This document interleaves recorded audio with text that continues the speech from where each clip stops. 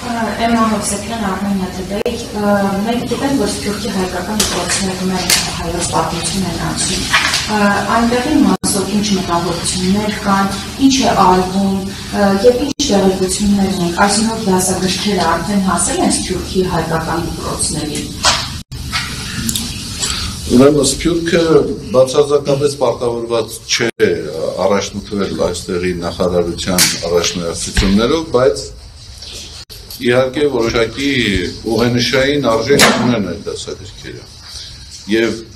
վտանգներից մեկն էլ հենց այն է, որ այն թեմաները, որոնք որ տարիներ շարունակ շարունակ Թուրքի համար ոգեշնչման ապրելու հարատեվության խորհրդանիշ են դարձել, այդ թեմաներն են չեղարկում եւ չեզոքացում։ Օրինակ Վարդանանց պատմության դրվագներով Սփյուռքում սերունդներ են մեծացել Հայկի, Արարատի, Սուրբ Էջմիածնի, եթե Սփյուռքի փոքր ինչ ուսումնասիրություն կատարեն, կտեսնենք, թե ինչ խորհրդանիշեր կան Սփյուռքում, որոնց շուրջ ձևավորվել է հայկական, պահպանվել է հայկական ինքնությունը։ Հիմա հիմնական վտանգներից մեկը նաև դա է։ Եվ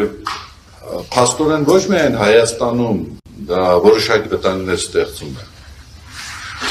այլ նաև հատկապես Սփյուռքում Սփյուռքում ճիշտ է ավանդաբար այդ թեմաները, այդ ոգին, այդ թեմատիկան պահպանում է, բայց այս դասագրքի հրատարակությունից հետո, այս մոտեցումների փոփոխությունից հետո մեծապես վտանգված է լինելու նաև Սփյուռքում հայապահպանությունը։ Եվ ես վկայություններ ունեմ, որ Սփյուռքում եւս որոշակի մտահոգություններ կան, անդրազում կա այս դասագրքերում տեղի տած սխալների մոտեցումների հետ առնչված։